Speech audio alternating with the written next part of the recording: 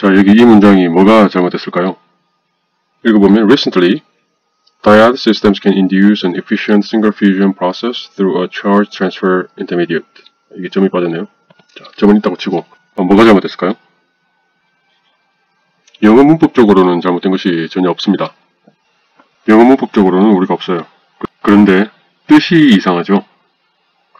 뜻이 왜 이상한지 잘 감이 안 온다면 다음 문장을 한번 보면 감이 올 겁니다.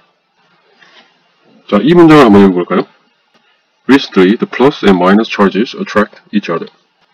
이것도 영어 문법적으로 아무런 우리가 없죠. 그런데 읽어보면 굉장히 이상해지죠. 왜 그럴까요? 플러스 마이너스 차지가 서로 끌어당긴다는 것은 우리가 학교에서 배워서 잘 알고 있죠. 이거는 과거에도 그랬고 현재도 그렇고 미래도 그런 어떻게 보면 어떤 진리에 가까운 그런 팩트죠. 그런데 거기에다가 recently를 붙여놓으니까 굉장히 뜻이 이상해지는 겁니다. 그러니까 플러스 마이너스 차지가 서로 당긴다는 게 서로 끌어당긴다는 게 recently 그렇다. 그런 뜻이 되어버리니까 굉장히 웃기는 뜻이 되어버리는 거죠.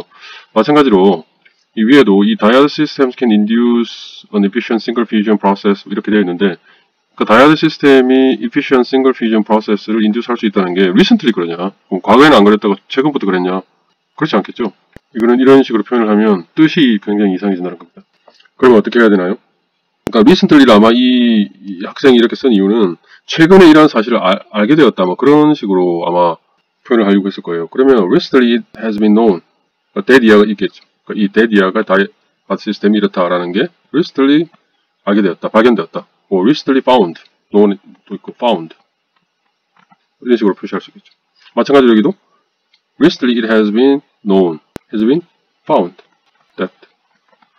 플러스 마이너스 차지가 서로 끌어당긴다는 것을 그 사실을 recently 누가 발견했다 이런 뜻이 되는 거죠. 그럼 그거는 좀 덜 어색하죠. 물론 플러스 마이너스 차지가 서로 끌어당긴다는 건 아주 오래전에 발견됐지만 이렇게 표현할 수도 있고 혹은 a recent study reported that 이하로 해서 that the plus and minus charges attract each other.